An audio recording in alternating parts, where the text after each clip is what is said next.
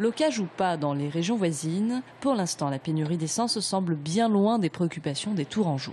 Je viens là parce que j'ai besoin de, de, faire le plein. Du moins c'est la voiture qui me le rappelle.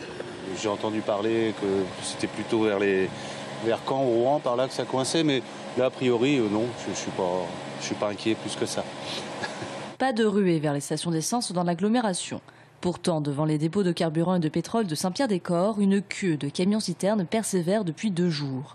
Une centaine de ravitailleurs de La Rochelle, Donge et Le Mans patientent depuis des heures pour pouvoir faire le plein et approvisionner les stations d'essence des régions limitrophes. Elles ne sont venues pour charger du carburant parce qu'à La Rochelle, c'est fermé.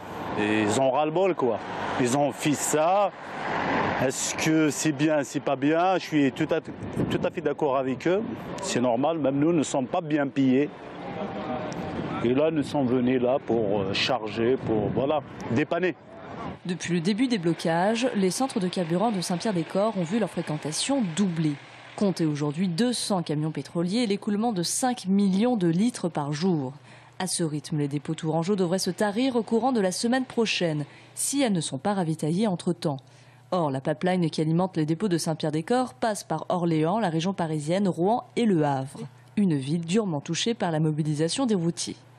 S'il n'y a plus de pétrole à Saint-Pierre-des-Corps, l'Indre-et-Loire et ses départements limitrophes devront à leur tour se ravitailler ailleurs où le carburant manquera.